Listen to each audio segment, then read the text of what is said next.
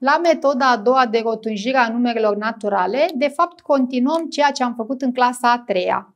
Și anume, ne referim la numere rotunde, numerele care au prima cifră diferită de 0 și restul zerouri, de exemplu 50 de mii, 2000, 4000, 400 de mii și așa mai departe. Și apoi gândim două numere rotunde consecutive, gândim cine este la mijloc și apoi luăm numărul care se formează cu prima cifră ordinul la care vreau să rotunjesc și văd unde sunt mai aproape, stânga sau dreapta. Cu alte cuvinte, regula era am un număr rotund aici, un număr rotund aici și mijlocul. Prima jumătate, rotunjirea se va face în stânga aici, a doua jumătate, inclusiv jumătatea, frontiera, se va face rotunjirea în dreapta. Bun, haideți să vedem concret. Să luăm numărul 23.421 și să-l rotunjim la 10. Deci îl scriu din nou. 23.421,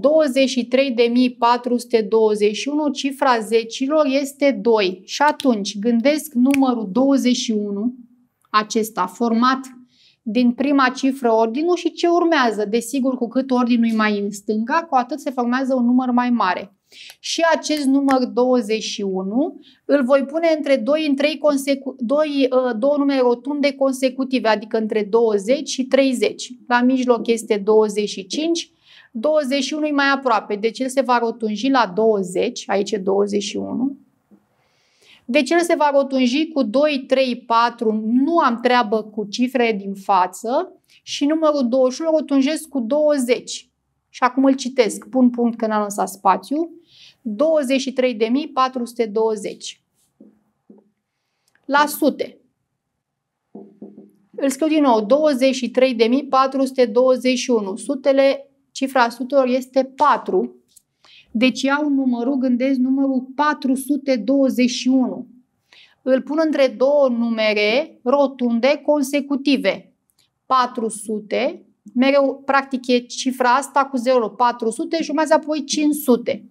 La mijloc este 450, 421 e aici. Bun, deci o să am rotunjirea în stânga, adică la 400, deci el se va rotunji. Haideți să modificăm, să punem aici un 8, ca să fie un pic mai mare, să avem rotunjire și în dreapta la un moment dat. 8. Bun, se va rotunji că n-a contat la nimic acel 8 pe care l-am modificat eu cu 28.000 și pe 421 rotunjesc cu 400. Deci rotunjirea este la numărul 28.400. Bun. La mii. Îl scriu din nou. 28.421. Miile sunt acestea, deci gândesc numărul 821. 821 între două numere rotunde consecutive între 800, 8, 8000 și 9000.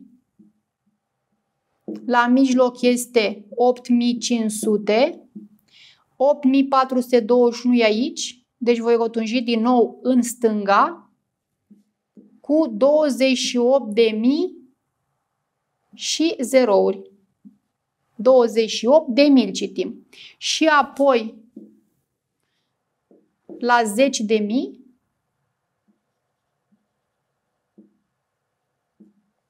îl scriu din nou 28.421, cifra zecilor de mii e 2, deci în acest moment gândesc tot numărul 28.421, cu cât e numărul mai mare, cu atât cumva Poate că e mai grea metoda aceasta. 20 de mii și 30 de mii. La mijloc este 25 de mii și eu am 28 de mii aici. 28 de mii. 421, tot numărul, rotunjirea se va face în dreapta, adică se va rotunji cu 30 de mii. Haideți să mai luăm metoda să o mai aplicăm pe un număr și să sperăm că lucrurile sunt clare.